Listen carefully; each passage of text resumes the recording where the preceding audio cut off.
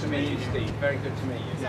It's an enormous privilege and honour to have Archbishop Justin with us for these three days. As you know, he's doing a, a, a wide range of visits and engagements which show how blessed we are with the kind of opportunities for outreach and for witness and for worship. So it's great we're gathered here, and I'm going to ask Archbishop Justin to offer us a few words. When I was uh, in my parish in, in, in Warwickshire, I had a very good church warden. Um, and uh, I was a member of the local Rotary, and the Rotary was great, and they did superb work. And we worked very closely as a parish with them, and all kinds of local projects. But one day, the church warden, we were talking about something, and he said, You need to remember, Justin, that the church is not the Rotary with a pointy roof and funny clothes. and I know that areas like this, uh, the church is one of the absolute essential parts, but it only works when it works in partnership. Otherwise, it becomes pointy roof and some strange habits and some odd people, and that's about it. But when it operates in partnership, in the grace of God, we unleash all the incredible things that um, I was reading about are going on here.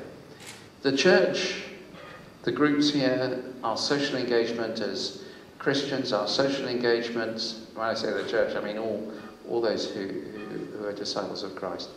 The, uh, our social engagement as normal human beings of any faith and no faith, our care for those who have been, in some sense, abandoned, and for communities and regions that have been abandoned, mm. is something that needs to be reasserted in a really passionate way.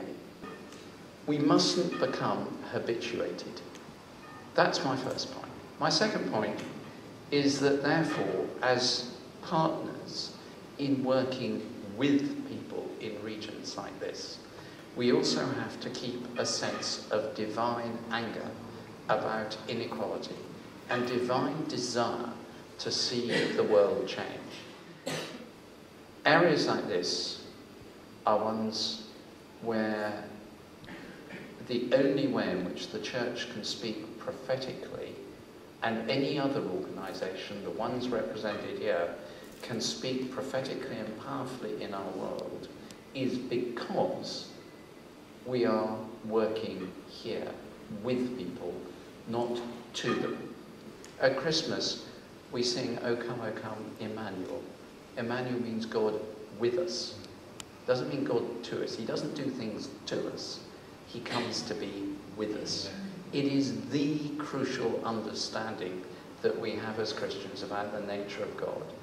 And if we're going to represent who God is, we do things with, not to, or even for, but with. But my prayer for you is also that as well as those things, that you have that sense of divine desire and anger to see the problems of this kind of place, this area, the abandonment of regions, not always maliciously, but just out of sheer not knowing what to do-ness, of ignorance, of carelessness, that that is overcome. And we can dream of what it is to be the sort of society that says this is intolerable, we're not going to do it. And it can be those like you and the church who are at the heart of that dream. Thank you very much.